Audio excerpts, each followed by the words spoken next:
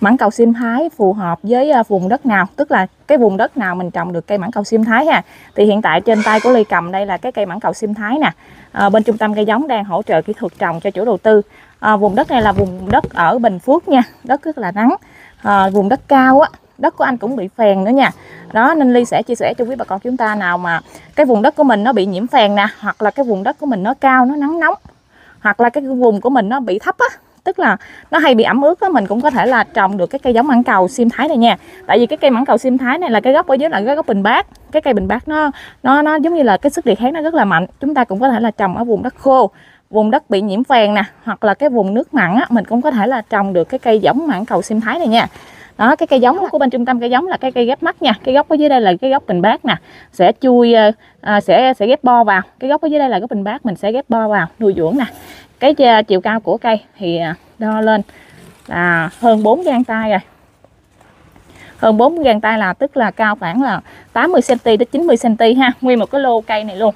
Đó, lô cây này luôn. Anh trồng được một, anh trồng à, trồng được hai đó nha. Anh trồng là hơn 2.000 2.500 à, cây mà đợt đầu tiên anh anh trồng trước.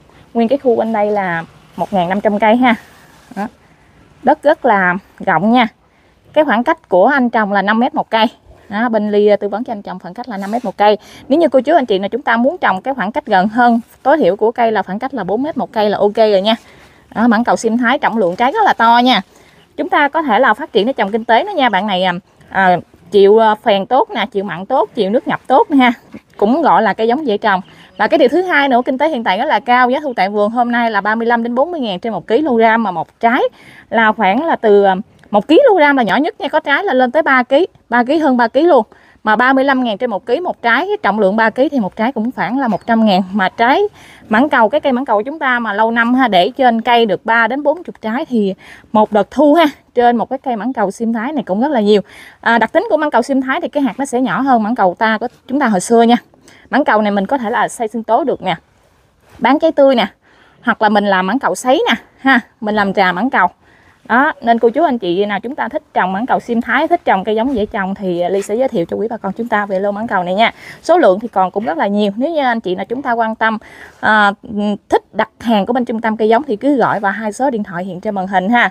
Bên trung tâm cây giống là đơn vị chuyên à, sản xuất về tất cả các loại cây ăn trái nè rồi có cây giống ngoại nhập nè và đặc biệt có cung cấp luôn những cái cây to cây lớn ha và có hỗ trợ kỹ thuật trồng tại vườn và có thu mua trái đặc biệt là trái mít ruột đỏ nha. Những cái loại trái khác thì bên ly không có thu mua.